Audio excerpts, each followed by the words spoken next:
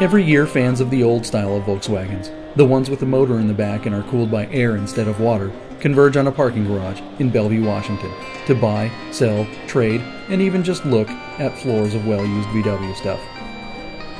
So what's going on today? I mean, what's the deal today? Oh, today, uh, Pacific Northwest Spring Meets, the biggest indoor car show in the Northwest. Five floors of rusty, chromy, greasy goodness. Good.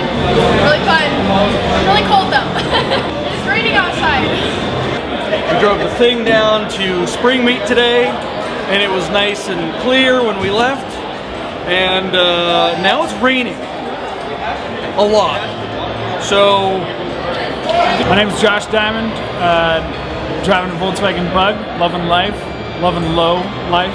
So my car is actually at stock height. Uh, when you put the stuff up top, uh, it's just my way of lowering it. It's cheap.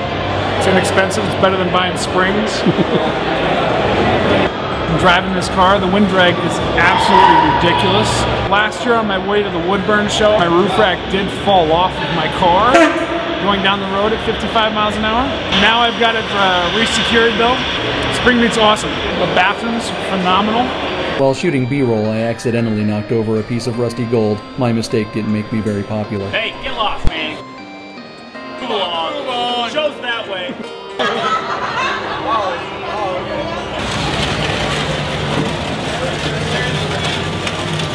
It's a Super Beetle, and uh, it isn't as happy as it could be being low. Uh, they don't really make parts for them, so kind of had to home do everything. It walks all over the place and floats all over the freeway, and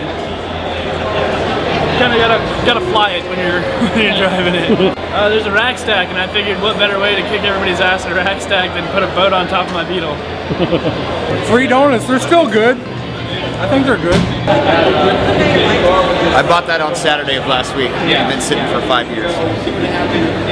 And what'd you do to it? Uh, pulled the body off, put new pans on it, spray painted it, put it back together. Drove it here. This, mor- Spray painted it. this morning was the first time I'd ever hit the cement with it.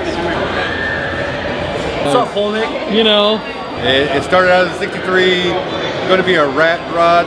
Decided to take it even further, and I welded in a ragtop clip, welded in an oval clip, painted it with 37 cans of Rust-Oleum Home Depot paint a year ago, and did all the suspension mods and engine mods, and here it is. 2013 Spring Meet ends with the weed whacker like grumble of the last air cooled Volkswagen to leave the building.